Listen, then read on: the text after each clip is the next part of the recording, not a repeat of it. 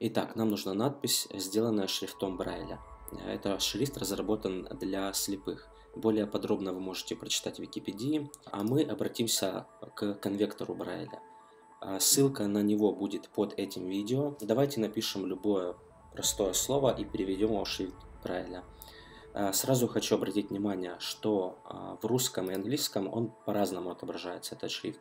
Нету заглавных букв и жирных, поэтому не надо писать вот так, всегда следует использовать просто символы.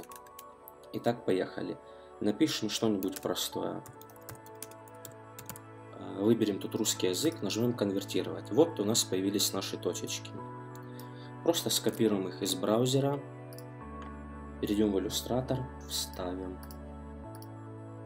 Почти ни один шрифт не поддерживает шрифт Брайля. Его поддерживает только Apple Braille, Apple Symbol. Я так подозреваю, он по умолчанию установлен в операционных системах macOS. В винде это шрифт Deja Vu Sans.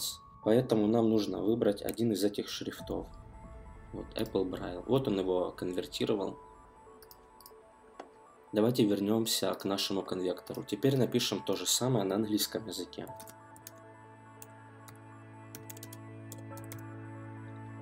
Выберем английский язык и нажмем кнопку «Конвертировать».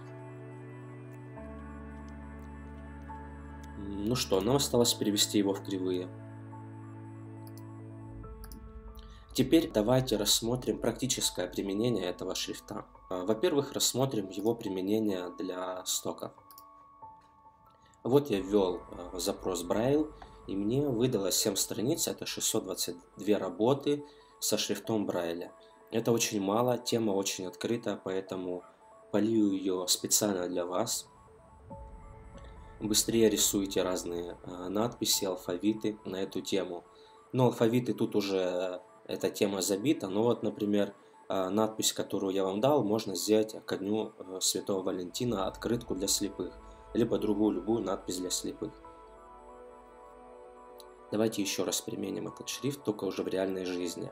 Э, я взял э, нашу надпись на английском языке, взял листик в клетку и э, обозначил точки точно так, как это было у меня в конвекторе Брайля.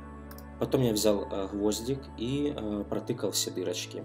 Перевернул листик, потому что слепые лучше чувствуют бугорки, чем ямки. И подложил вот обычный лист, допустим, нашу открытку поздравительную, под низ приложил и в, э, в этот перевернутый листик еще раз гвоздиком протыкал эти дырочки. И вот получилась наша надпись, выпуклая, как положено. Я думаю, ее сможет прочитать ваш слепой друг. Итак, всем спасибо за внимание, удачи, берегите свое зрение, пока.